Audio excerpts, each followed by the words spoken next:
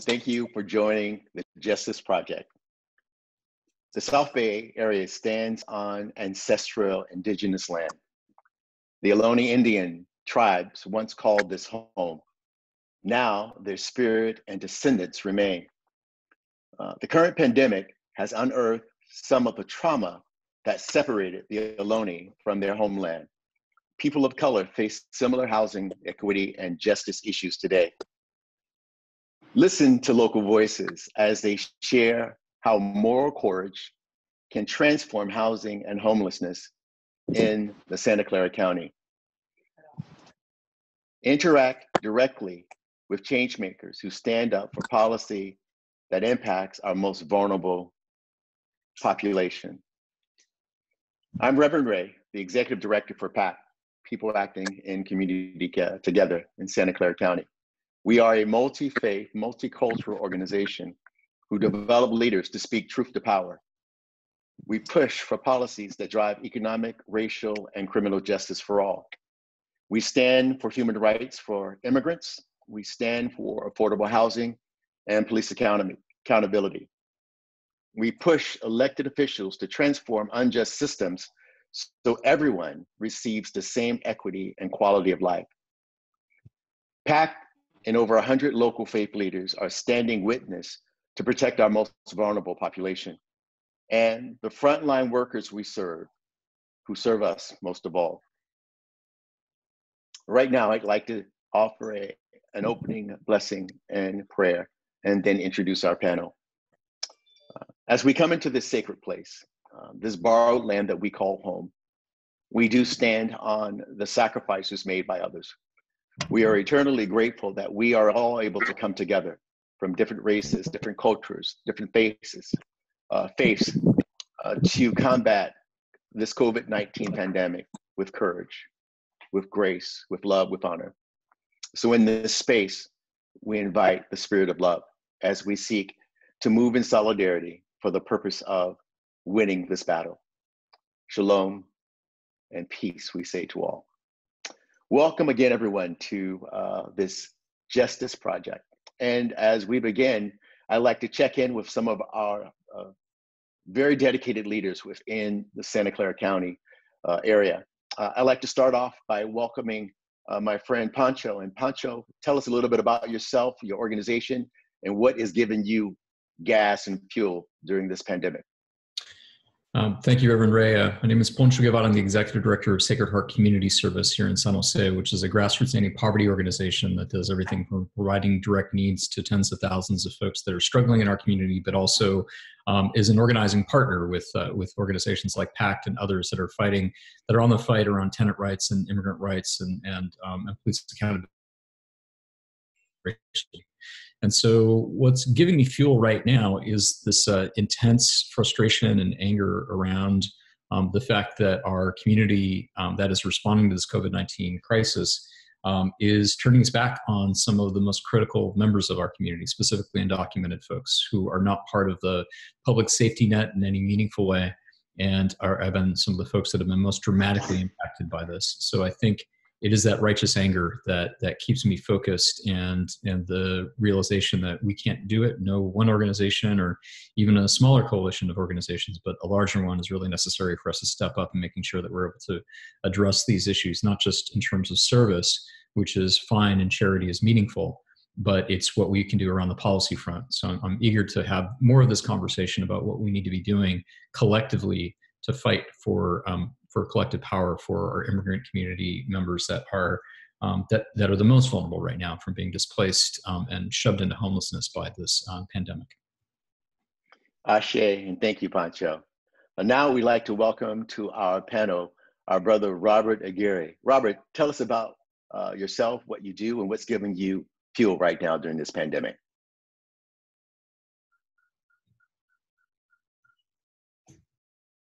And you're going to have to uh, unmute yourself, Robert. There we go.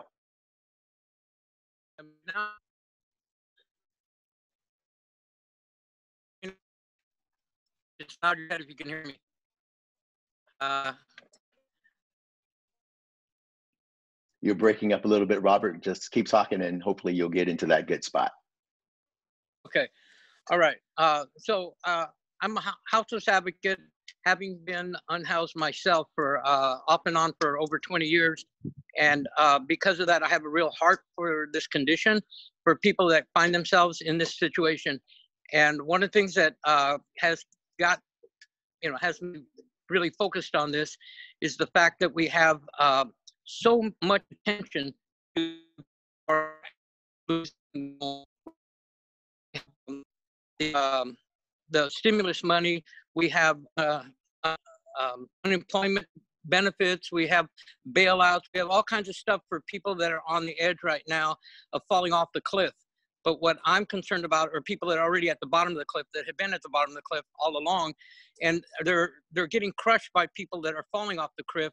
Cliff, and those people are the ones that are getting attention. But the people that have been long-term unhoused are continuing to be uh, discriminated against and i would like to see that change that that to me is what is driving me more than anything else Ashe, and thank you, Robert, for dialing in and uh, sharing your perspective. Right now, we'd like to welcome Sharon. Sharon, tell us about yourself and what's given you gas during this pandemic. Hello, thank you. Yes, I'm um, the director of Catholic Charities Cathedral Social Ministries, located at John the 23rd. For most uh, everyone here, you've known us as being at the cathedral for the past 30, 30 years. However, here we are, and we're happy to be here working um, in partnership with Catholic Charities. The window, uh, for those of you who don't know, the window is a, a window that is open to any individual who's in a homeless situation where they can receive mail we have 1,200 individuals who are registered who receive mail. We see 150 people a day. We are certainly on the on the front line, and uh, with the stimulus checks these last uh, two weeks, we've been able to, at least from the CARES Act, uh, the stimulus checks, we've been able to get 130 checks into people's hands and uh, along with their unemployment checks and uh, service navigation to the hotline uh, shelter. We're making phone calls for those homeless individuals who don't have a have a phone, and uh, we have we have 1,200 beds. I am so impressed with what the city of San Jose and the county Office of Supportive Housing has done in terms of creating these these beds um, in in such a quick quick effort and another 100 come online this next week, bringing us to 1,300 beds. Uh, certainly never enough. And, and then how do we transition to not just opening those shelters and those individuals to the street and making sure we can um, implement a, a, transition into transitional housing and, and our continuum of care and coordinated assessment process and seeing those efforts actually work the um, and then um, certainly in terms of our healthcare clinic with Gardner here on site, the homeless healthcare um, program is still with us. We're integrated uh, in including our reentry services, uh, working with the criminal justice system, our faith-based reentry services, uh, working with those that are released um, from jail and uh, and housing them as, as, as quick as we can thankful for the case managers we have. Everyone is working 100 miles an hour. And then most recently, the state, uh, the disaster uh,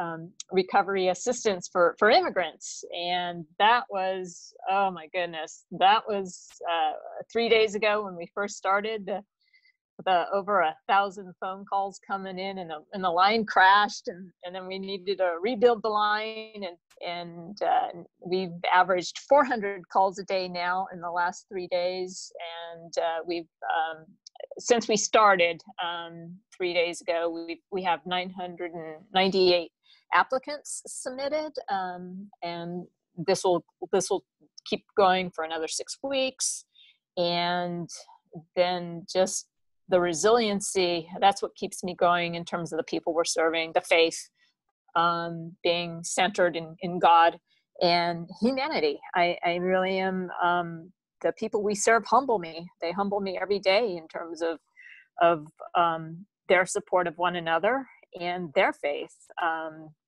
yes we're in this together. Excellent. Ashe and thank you sharon.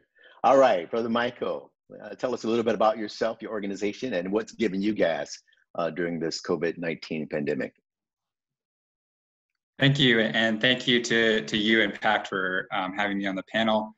Um, I'm a staff attorney in a housing program at the Law Foundation. I'm also a member of our steering committee on our uh, Race, Equity, and Inclusion Initiative.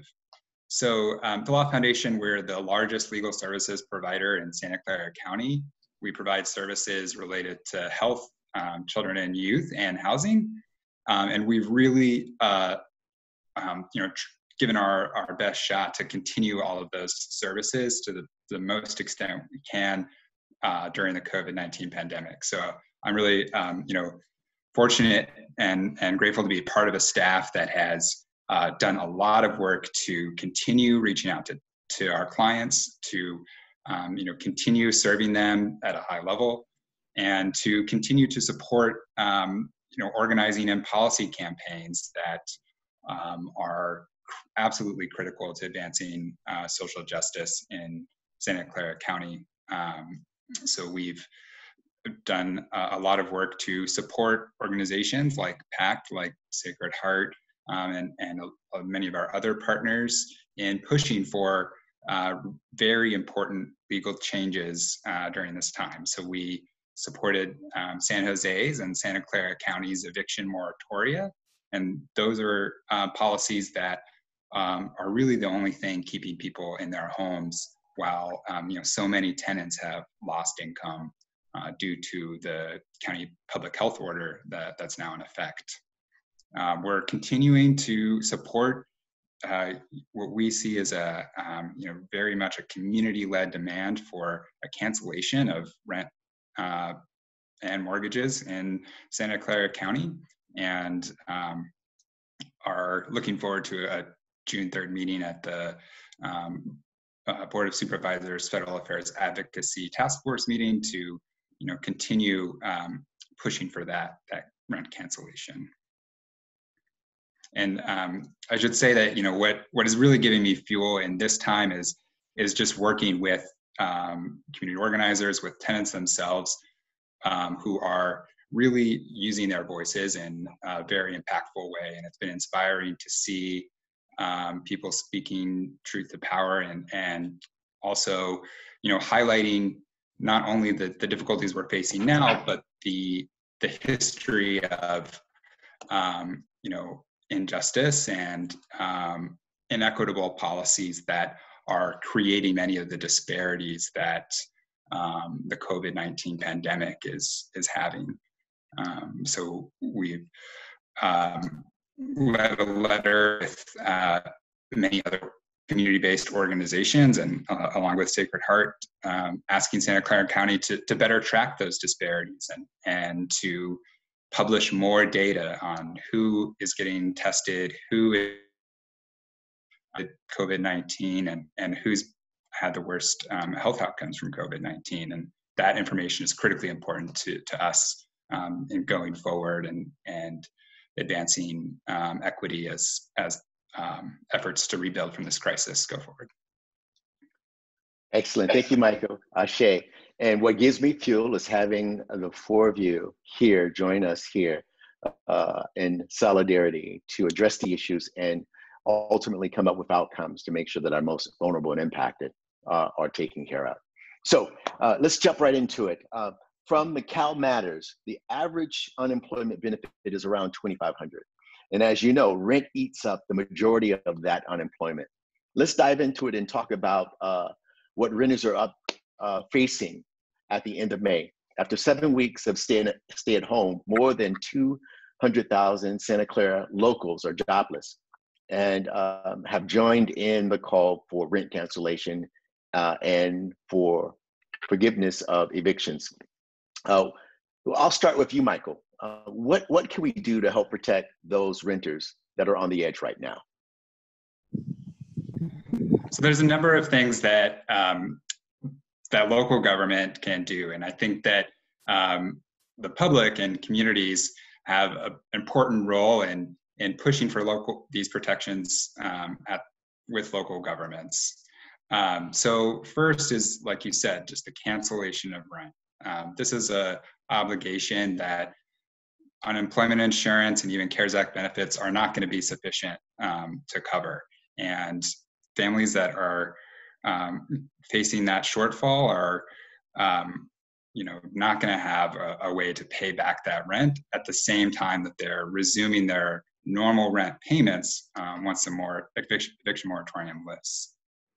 You know, another needed protection would would be to just say that that back rent that's owed can never be the basis for eviction, and um, you know that would still uh, allow the landlord to to seek that debt through a civil action, but would really you know avoid and prevent the risk of displacement um, as a result of of that unpaid back rent. Um, so those are things we're pushing for, um, you know, at, at, the county level, um, and uh, you know, community members I think have an important role to play in in supporting those uh, tenants and asking for those policies. I think outreach is also critically important right now, and we're seeing that um, you know tenants who don't know about the eviction moratorium in place and some of their protections that they have um, are, are being forced into bad payment plans or, or even you know convinced to, to voluntarily leave by landlords. And of course that's that's heartbreaking for us to see when you know tenants are in that situation. They do have the opportunity to be protected and and simply aren't because of, of lack of information. So I hope that people are, you know, connecting with their neighbors to the extent possible and letting them know that there are protections in place and um, that folks should be seeking legal assistance if they're they're um, feeling that their housing is jeopardized during this time. Thank you, Michael. Now, Poncho, tell us some of the things that you're hearing and experiencing relational to uh, the ensuing potential eviction and the end of the rent moratorium. Yeah, uh, thank you, Reverend. Um, w- one of the things that we saw immediately when this crisis began, we we were getting prepared to launch a financial assistance program for um, for individuals that were impacted by the COVID nineteen you know crisis, and, and, we've launched that the week of um, uh, the week of March twenty third, and within similar to what Sharon was describing, within the first 18 hours, we got over over uh, nearly 5,000 applications for assistance in the first 18 hours that we had um, um, we had our systems up, and we got you know 3,000 you know like 3,000 calls in, in the first um, day and a half just to be able to you know put it in perspective. And, and over the last month and a half, we've had 18,000 people apply for assistance. So we've gotten through the first 12 million um, and we're getting ready to ramp up a new uh, a, a, new program that's going to be launching um, this week with folks trying to reach some of the folks that were on our interest list, but this is going to be targeted and documented um, households that are extremely low income. But the, the thing that's keeping people in place is exactly what Michael was talking about, the eviction you know, uh, moratorium that was in place. And what we're working with and what we're hearing from the folks is that they are um, they are desperate. They are struggling to try to make ends meet. They need to put food on the table.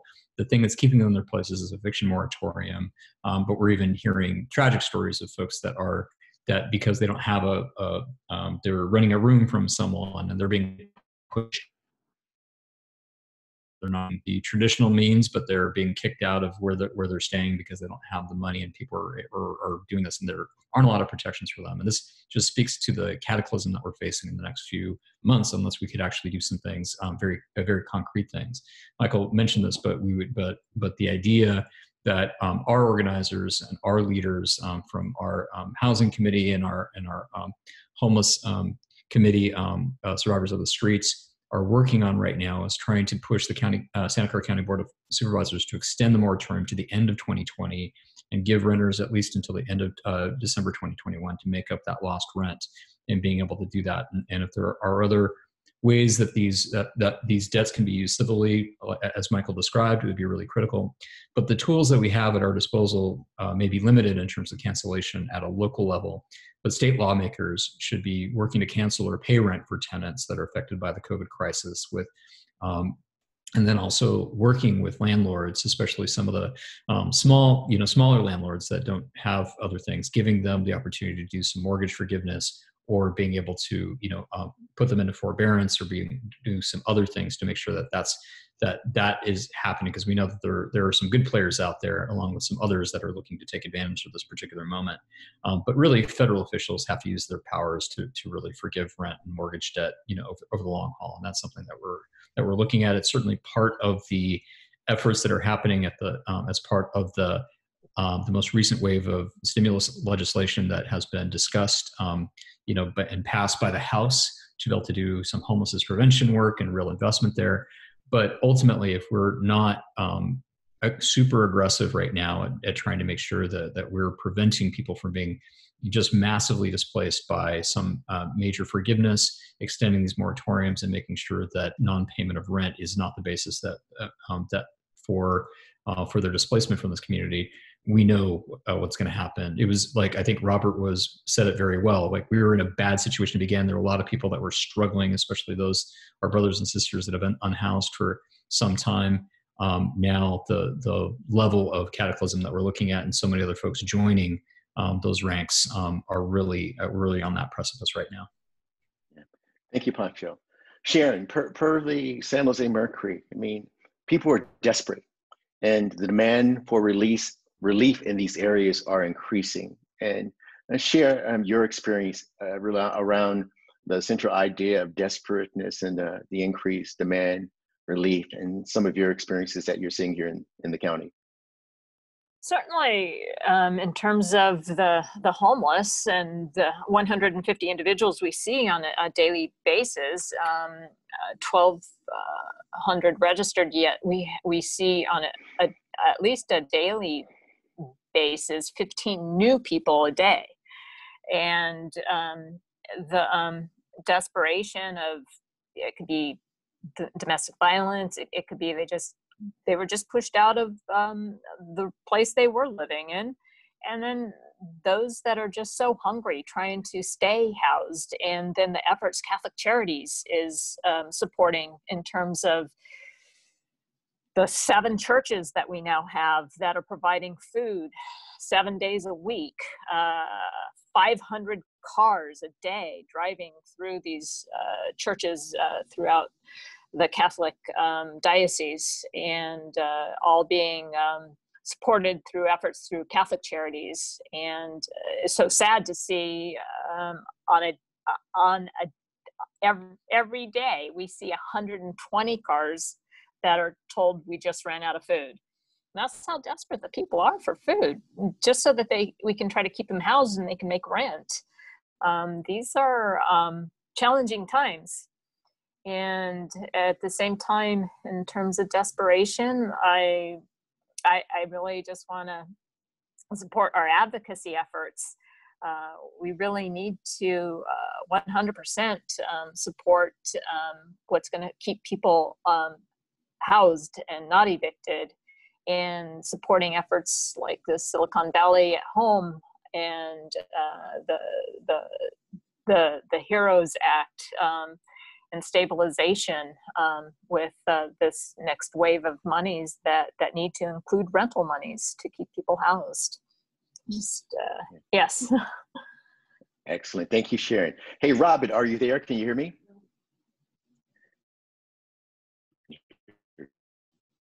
Robert. Yes, I can hear. You. All right, we can hear you. Hey, Robert, speak to uh, some of the uh, the effects that um, we're talking about uh, and its impact uh, in the homeless area and some of the promises that were made and some of the things that are missing.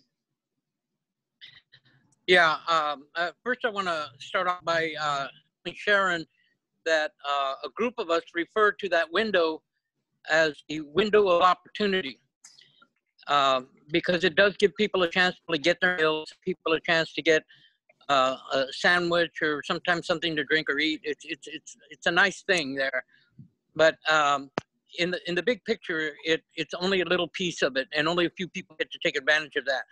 What I'm talking about here is that we have large numbers of people that need to get housed. Uh, the city doesn't like people living outdoors. I don't like people living outdoors. I don't think anybody likes people like living outdoors, including the people that are living outdoors. But there's not enough housing available. There wasn't before uh, COVID-19, and and there isn't now. The fact that they're claiming that they've got all these housing uh, units, hotels or motels or, or even shelter spaces. Uh, first of all, they're, they're not sufficient for the number of people. The um, housing department has handed over the responsibility of housing these folks to the, um, to the county. and uh, the county is responsible now for all the people. So we're talking about almost 10,000 people. So if we have a thousand people in the county that have been housed, not just San Jose, but that's the entire county, and we have 10,000 people, we're, we're not doing a very good job. Uh, the other thing is that uh, people that, that get into some of these housing are told that they can only be there for a limited amount of time. They're going to have to leave. They're going to bring more people in to just keep that door revolving. And they keep counting the people. So if, if you've been in one location, for example, if you were um, Roosevelt Park Community Center, and then you get moved from there uh, to um, the uh, Parkside, you get counted twice. You get counted once for moving into uh, the uh, community center, again for moving into Parkside. If it turns out that you are positive, you test positive, they move you to a third place, you get counted again.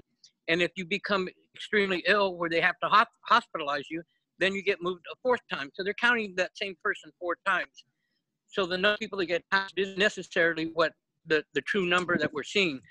And I know some people that have been played, moved around like a chess piece, and uh, they don't feel like they have any real support from the county or the city in providing them the kind of security that they need. Uh, at first, they were just forcing people in. They weren't being spaced apart. They weren't providing people with uh, mask or gloves or, or anything for that matter, including hand sanitizer. Then that started to happen, but yet we still have people that are too close to one another.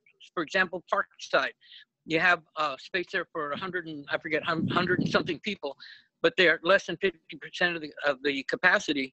And yet those people, can you imagine people that are going crazy in their homes? At least they can get up, go to the bathroom when they want. They can go to um, the refrigerator and make themselves something to eat on the stove or the oven. They can do all those things. But if you're in a shelter, you got to go outside to use a porta potty for one. You don't have a you don't have a, a living room that you can sit around and watch TV or Netflix or anything else. You don't have a lot of things. You're forced to stay in a single space all day long, and you don't have the in and out privileges that you and I enjoy. Being able to go out, go to the grocery store, or just go to the park and have a have a little peace of mind. So we're not really addressing the problem. And uh, it's just going to get worse as more and more people are being pushed out of their homes and into the streets. Thank you, Robert. Well, let, us continue, and it's a great transition. Uh, based on some reports by uh, Santa Clara County, COVID 19 have really affected uh, people of color the most, with some of the highest numbers being shown by our Latinx brothers and sisters. Uh, relational to housing, um, uh, start with you, Poncho. Have we seen any racial inequities in relationship to housing and homelessness, homelessness impacting our Latinx brothers and sisters? Yeah, absolutely. There was a recent study that was uh, that was compiled uh, for the continuum of care around around homeless assistance that was um, done by Destination Home, kind of looking at racial inequities in our system, and they are dramatic, um, Reverend. They, we are seeing not only the folks that have that have traditionally accessed the resources disproportionately and African American and Native American you know individuals that are um, heavily overrepresented in our systems relative to the general population, and that's been true for uh, forever. And it speaks to what, what's actually really happening right now when we see um, the numbers in terms of COVID cases, the number of folks that are uh, that that have experienced death in our community.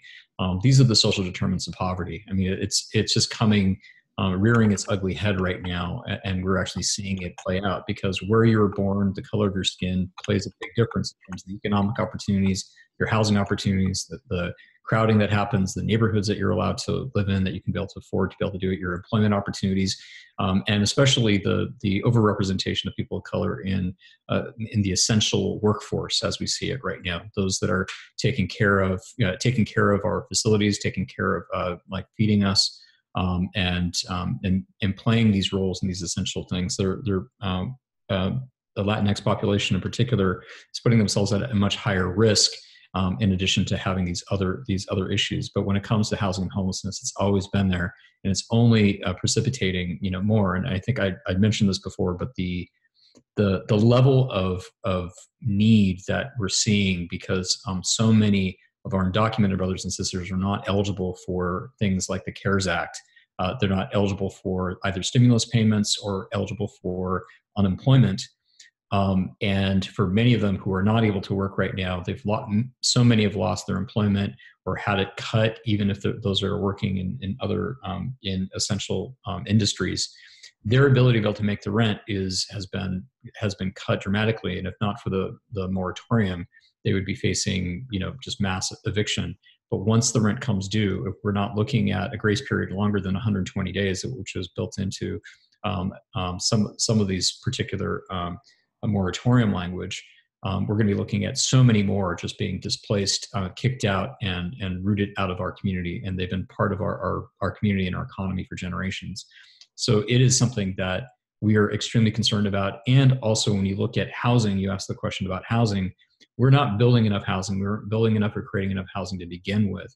And so, in addition to whether it's 10,000, um, our committee is pushing for 5,000 um, units that's uh, temporary shelter spaces in, in the county by the end of the year to help meet some of these things, uh, these needs. We are going to see um, just a giant, um, uh, like pushing out of communities of color um, as the only things that the market has been able to do, and they've only emphasized building market rate, very expensive housing that's really not accessible to people of color in our valley and our community, and, and we're very concerned about that. But we we know that that this is a fight that's been here long before, and it's going to be here long after the, this uh, pandemic. Great. Now, now, Michael, how do we, in, in the context of this question, how do we protect the most vulnerable, considering it's the people of color that are most impacted uh, with uh, during this pandemic, and, and those are impacted relational to housing and uh, unsheltered? Yeah, that, that's a great question, and, I appreciate Poncho's um, response as to the underlying issues. I mean, these are long-standing, um, or the issue, the disparities that we're seeing now are the results of long-standing uh, policy choices that um, you know reflect serious racial inequity. Um, so uh, you know, in San, Jose, we see that the neighborhoods now most affected by um, COVID-19, this disparate impact, are the ones that were redlined through much of the 20th century, and um, then you know were uh, displaced and and affected by redevelopment later on. So, you know, this ongoing history and and um, continued set of choices around housing policy that um, you know, favors uh, some groups and leaves others to the uh, kind of health and poverty outcomes that that we've seen is is absolutely unacceptable. And um, you know, it's it's time that uh, we lift that history up and call for a different approach going forward. And I think now is, is the time to to make those demands. And reflecting on what um, Robert was saying, I, I think now is the time to call for for housing to be a human right in California. And I think um, you know there's an opportunity through the COVID nineteen crisis to see um, that that's doable. You know, we are making a lot of temporary housing available at a very quick rate, and at a rate that we said was impossible before this crisis began. I think that um, you know we really need to think bigger about um, what we can do uh, you know as a community as a, a state to um, make sure that these patterns of racial inequity aren't repeated. Um, i think on a, a more immediate um, basis i mean I, I think it's it is just really important that people do outreach and, and connect with their neighbors and let them know about the protections they have. Um, unfortunately, many um, in many monolingual Spanish speakers in, in our community are being uh, approached by by landlords and har- harassed and pressed into um, you know bad payment plans or being told to leave um, you know without going through the proper process and um, so it's it's really critical that those those people know um, that they have rights that they can get assistance and that you know we're um, here to help um, not just us but of course you know sacred heart and then and the other entire network of organizations here um, you know serving uh, our community. Thank you michael. Well great. Let's transition. This next question is for robert and sharon. Um, the question is more than 9,700 homeless are homeless in Santa Clara County, with San Jose being the city with more than 6,000 vulnerable locals seeking relief and testing during this pandemic. The tent near Cesar Chavez Park is half full, as many of the unhoused worry about their things and safety. Um, how do we support the unsheltered when we lack basics for their survival? Only 800 beds per night in San Jose, 6,000 homeless, only six public restrooms downtown. Restaurants are not allowing uh, all locals inside, and libraries are closed. 6,000 homeless. So, Robert, what, what do we do? How do we support the unsheltered and Sharon? Uh, I would say one of the things that uh, I think is critical that I've been calling for with the city and the county is that we need to have uh, a commission, just like we have an airport commission and we have a senior citizens commission and we have every kind of commission you can think of, but we don't have a commission that represents the people that are unhoused or the poor. And these are the people that are constantly being uh, subjected to uh, criminalization and eh, you know every kind of discrimination you can think of, like you pointed out about the restrooms and uh, there are a lot of re- restaurants, even before this, that wouldn't allow people to go in to use the restroom. And um, the other thing is that there's no real uh, system out there for addressing people that have mental illnesses. And uh, it's not the majority of people, uh, but it is a group of people that do need this extra extra care. And typically, the people that respond to them not that understand how to treat them um, fairly or even treat them medically. Uh, so we get a lot of people that, that get attacked or, or get in jail or get put in different places that, that, are, that don't really give them the treatment that they need. And uh, we have to recognize that even um, addictions are illnesses and they need to be treated as such and not, not as a criminal. And um, as far as uh, the people that are being tested, um, I feel that the county and the city look at the unhoused as COVID chum. In other words, mm. they're just out there, and, and there's nothing that's really being done for them. Out of the uh, nearly 10,000 people in the county, only 200 have been tested.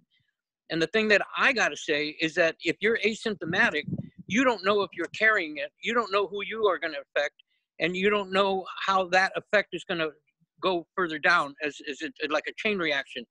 So we need to uh, step up the the, the uh, uh, notifying people that don't have phones, that don't have radios, that don't have televisions, that don't have any other way of getting this information but by word of mouth, we need to step up and provide more outreach. And by the way, the city and the county have stopped doing outreach altogether. So there is no more outreach coming from the city or the county.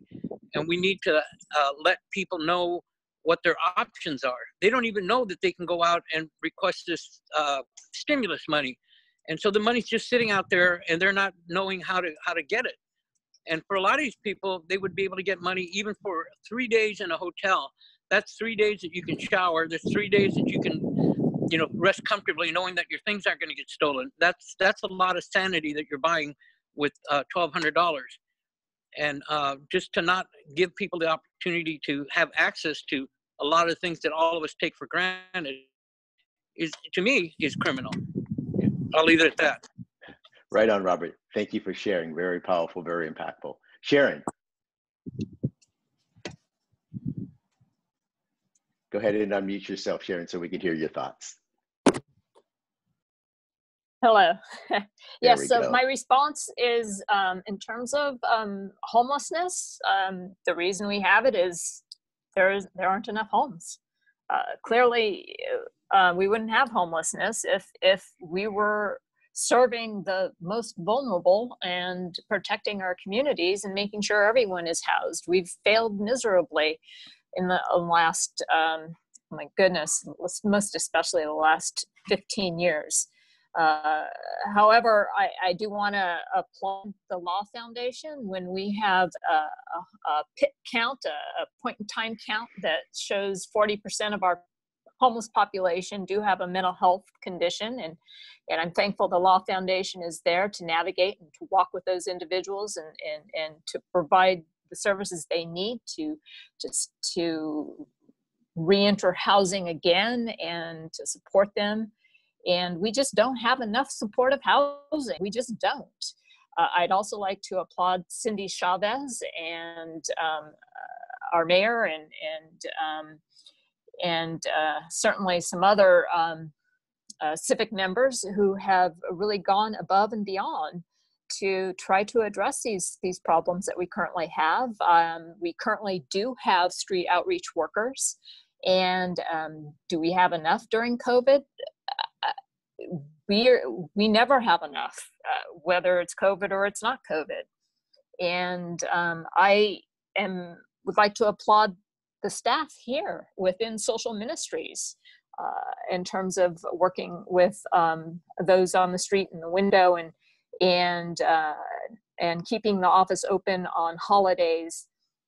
We will be closed for the first time on a holiday this Memorial Day. I, I, I need to give our staff a break. Um, they are they are working nonstop and working closely with the Office of Supportive Housing and helping to place individuals in in the um, shelters that we do have. And my biggest concern is going to be how do we transition once um, we are not um, placing people in, in shelters the way we are right now. The, um, we need to make sure that that transition happens where we start doing the coordinated assessment process and what are we going to do because there is not enough housing Excellent. Thank you, Sharon. And thank you all for your wonderful, response, wonderful responses. I think uh, we're on borrowed time. Uh, I want to take about uh, the next five minutes to take a few questions from uh, those who are watching live with us. We have a question um, from Pastor Sammy of the Stone Church, and either of my any one of my panelists can answer this question. The question is, how can we? And hi, Sammy, and thank you for joining us, and all of those who are joining us live on Facebook. I failed to mention that earlier. Um, how can we get the word out about uh, renters' rights? How uh, can we get the word out to our community about renters' rights? I can uh, take a stab at that. So, um, you know, we, I did first. I want to thank um, PACT for hosting this panel and, and for all its leadership and, and coordinating among the faith community. Um, you know, I think that faith communities do have an incredibly important role uh, to play in and letting uh, your members know that um, you know protections exist and um, legal help exists. Um, so you know there there aren't very many um, of the uh, typical meeting places or organizations, uh, you know, physical places where people are gathering like we did, like we had before um, COVID-19, and and you know, faith-based services uh, occurring virtually are, are one of the kind of few ways that people are are coming together right now. So that's that's a really you know critical opportunity to just let know let people know that that help is out there. That um, you know that there is some protection against evictions right now, and um, that people should seek help if they need it. Um, we're always uh, willing to do uh, you know, individual presentations, know your rights presentations um, about the eviction moratorium, about general um, tenants' rights, about fair housing, you know, anything housing related. Um, you let us schedule a time that that works for um, your members uh, so that that people know, um, know how they're protected. Excellent. I Thank would you, just, Michael. I would just add one other thing um, is that this is a critical time for folks. There's one thing to understand what the rights are, if that was the nature of the question, but if it's about how you can stand up for it, this is a critical time to be contacting lawmakers, specifically the county board of supervisors, talking to our state representatives, um, but but particularly uh, the county board of supervisors and also our city council members in, in the cities where, where you're located in, and reinforcing with them we need to be able to have we need to extend these moratorium we need to extend this moratorium and extend some of these protections because they're hearing from folks they're hearing from landlords that are saying we don't want to see you know these uh, they're, they're talking about their suffering um, and that suffering may be real but being able to push them and write letters and say we need to do something about it it's your time to be able to use whatever privilege and, and, and security that you have and put it on the line for others and making sure that we're able to extend these moratoriums and extend the payback time and and advance whatever in whatever mechanisms we can to cancel rents. That is really critical right now. Excellent. Well, listen, I want to respect and honor your time. We're going to close out here.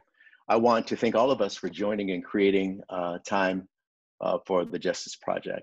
Uh, we are coming together to create uh, a different California and a stronger and more united and new improved Silicon Valley. Uh, next week, next Thursday, we want you to join us for our subject, Economic Justice in the Face of COVID-19.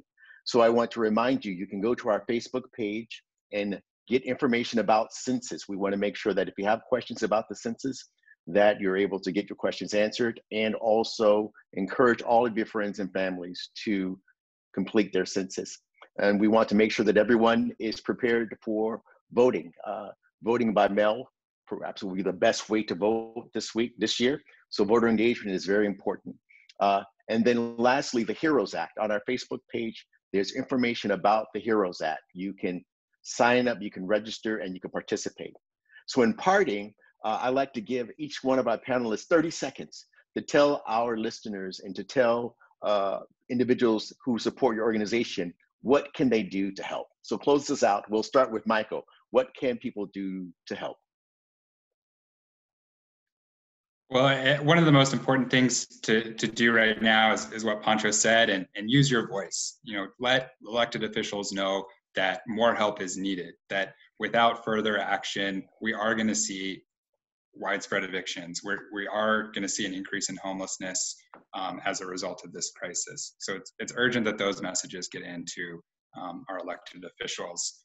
Of course, um, also just letting people know about their rights, letting people know they have rights, and um, getting them connected to the assistance where that's possible. Us, of course, um, we're, we're always happy to work with folks and, and do trainings, as I mentioned.